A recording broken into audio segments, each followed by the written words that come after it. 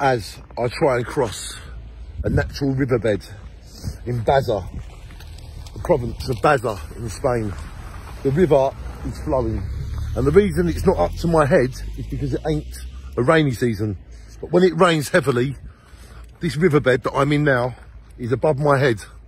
So just think about how it could be. And look, the river's flowing.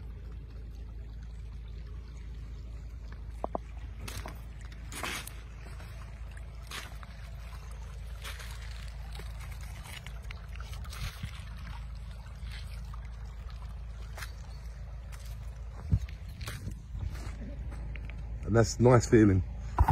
The riverbeds of Spain, look at that.